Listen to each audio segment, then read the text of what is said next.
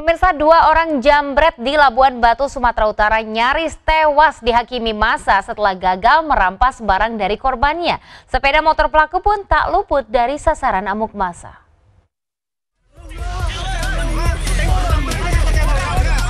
Seperti inilah suasana pengepungan dua orang jambret di Labuan Batu Kamis siang. Sejumlah warga nampak tak sabar ingin segera menghakimi kedua pemuda ini. Beruntung kepolisian setempat segera tiba di lokasi. Bahkan polisi harus melepaskan tembakan peringatan untuk melonggarkan kepungan massa.